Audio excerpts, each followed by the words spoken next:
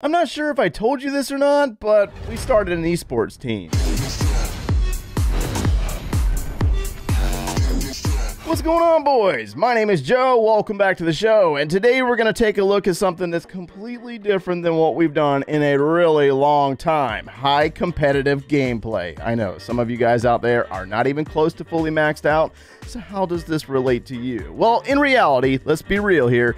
As you progress throughout Clash of Clans, there's going to be a point where you start looking at Clan War itself and you're going to be like, that's kind of boring and I want more. And then you go into Clan War Leagues and you realize, wow, we're really dominating, but I need a little bit more. And that's what happened in Battle Elite with a couple of our players and hence the creation of ADX Esports. So, we're going to take a look at this attack here from Danny Beast. Now, Danny has been working with the Lalo variants for a couple of months now, trying to get that practice in and some mastery. So you know when you steamroll a base, you want it shown off. This is going to be possibly the longest Queen Walk I've seen in a while, as well as some swag at the end. So he's going to start on the right side of this village with the Archer Queen drop, a Wizard, and a Sneaky Goblin for funneling purposes. He wants to get that Queen up into that scatter shot as well as that Royal Champion.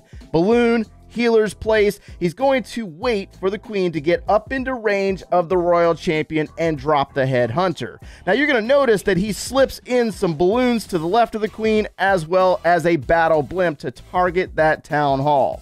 Inside the battle blimp is going to be sneaky goblins, which are going to tick away on the town hall and eliminate that poison bomb. Queen dealing with the clan castle troops. Looks like we got some witches, skeletons, ice golem, and they're working through a poison spell. Queen is going to work up into that scatter shot and she's going to keep going from there. She's got a lot of stuff going on here with the X-Bow, the Wizard Tower, and the Battle Builder Hut. She's going to keep pushing forward. A little slow at this point. We might speed it up here and there to kind of get through this attack. Here comes a super wall breaker that's going to travel all the way up into the next compartment Wow. I mean, that's some serious precision in big brain attacking. Not even going to lie about it because you got to have some patience to make sure that you do this thing right. Barbarian King placed on the outside of the village. Here comes another headhunter in preparation for that Barbarian King.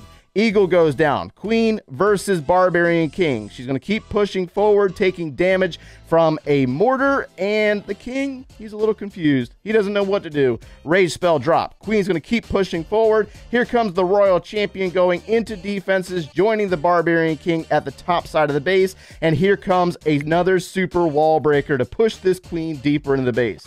I mean, are you serious with this? Look how much of the base has been taken out by just heroes. No balloons whatsoever. Invisibility spell on the Royal Champion to get that Royal Champ into the multi-target Inferno Tower. Queen is going to take out the enemy queen, and she's going to keep pushing forward to take out that air sweeper, which opens it up perfectly for the balloons, lava hounds, and the Grand Warden. Warden's ability will be used, and they're going to work their way into an already distracted scatter shot. Archer Queen is going to take out a Wizard Tower on the far right side, which opens it up perfectly for the loons. Once the Wizard Tower is down, Balloons are going to power through these point defenses as if they're not even there. There is one X-Bow still standing, but I believe it's on ground mode, and the balloons are going to work their way into the single target Inferno Tower. Look at all those balloons. Look at the minions, the Barbarian King, and the swag at the end of this attack. Well done, Danny, man. You are amazing. Now, if you are considering getting into the esports scene, I must give you a little bit of forewarning in regard to your defenses. If your base isn't fully maxed out is probably not the best option for you at this time. I mean, ADX, they're doing great on the offensive side of the house, but when it comes to defending, boy, they're giving up the three stars, and that is not good. So, you know, that's just the biggest difference between spending a little bit of cash and not spending cash.